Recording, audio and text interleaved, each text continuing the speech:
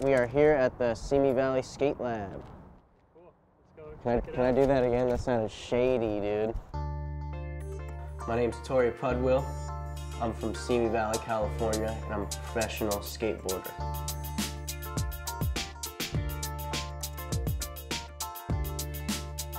I was flying around everywhere. I got the nickname The Worm because I was just like a little worm on wheels.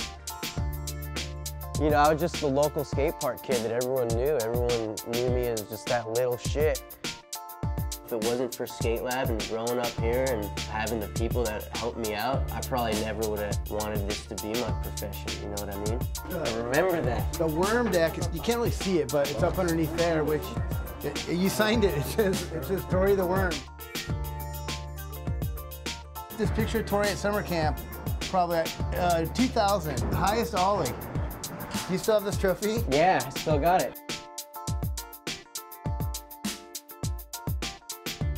This place was was my stomping grounds where, where I grew up and, you know, after that it was kind of just more like, you know, I gotta take it to the streets, I gotta go my own path and make the moves I gotta make to, to make this my career.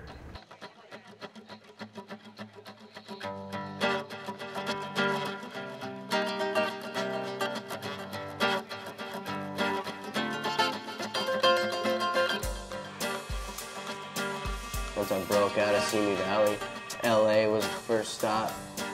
You know, skating all the famous spots from the skate videos of the pros at the time. So many good skate spots, and back then everything was skatable.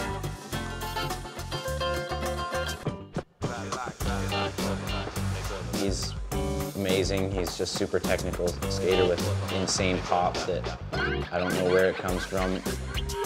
I mean, he's just got a gift. Super happy dude. Just wants to live forever and skate and have fun. Nothing can bother Torey, and if he's smiling and he's skating, he's gonna land tricks that are going to blow your mind. When he's having fun skating, he's the best skateboarder on the planet.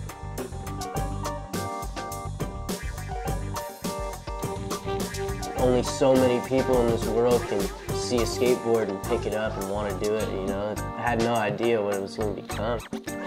It was a lucky route that I was, that I was given.